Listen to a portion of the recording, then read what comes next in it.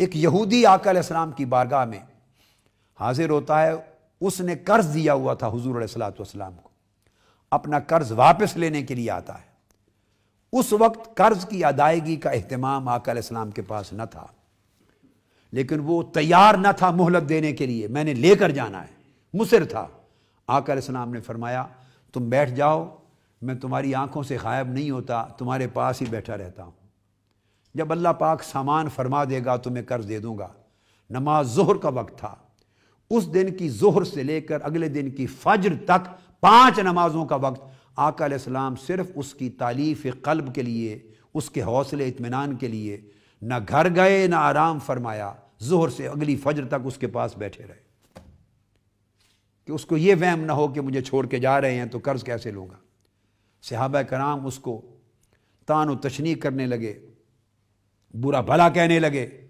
आकल इस्लाम ने उन्हें रोक दिया। इस वजह से कि यहूदी ने रोक रखा है। कल से आज सुबह तक आकल इस्लाम को तकलीफ़ में मुबतला किया। आकल इस्लाम ने फरमाया, सहाबा कराम से ख़बरदार, मेरे रब ने मुझे किसी गैर मुस्लिम पर जुल्म करने और ज़्यादती करने से मना कर रखा है।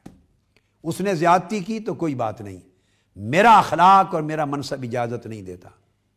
उस शख्स यहूदी ने आकल इस्लाम का कलिमा सुनकर, कलिमा शहादत पढ़ा, मुसलमान हो गया और कहा, बखुदा, मैंने जो आपके साथ सलूक किया, इसका एक सबब था। मैं यहूदी हूँ। मैंने तौरात में पढ़ रखा था कि नबी ये आखिर जमा तशरीफ़ लाएँगे, जिनका ज़िक्र मूसा सलाम ने भी अपनी किताब में और पहले अंबिया और रसूलों ने अपनी किताबों में कर रखा था। और उसमें लिखा था कि अगर कोई उनको आजमाना चाहे तो उनका नाम मोहम्मद बिन अब्दुल्ला होगा। उनका मौलद विलादत मिलाद शहर मक्का में होगा। उनकी हिजरत गाह शहर मदीना होगी। उनकी हुकूमत मुल्क के शाम की हदों तक फैल जाएगी।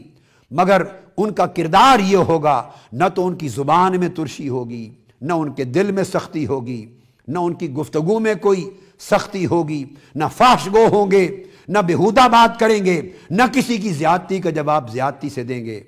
हमने चूँकि तौरात में पढ़ा था मैं उस पड़ी हुई रिवायत का इम्तिहान लेने आया था कि अगर आप वही मोहम्मद इबन अब्दुल्ला और रसूल आखिर जमा हूँ तो मैं आपका इम्तिहान लूँ।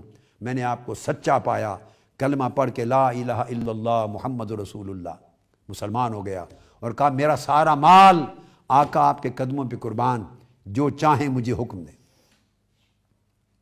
आप अंदाज़ा करें, इस इमाम बगवी ने अपनी किताब मसाबी सुन्ना में इसको रिवायत किया है।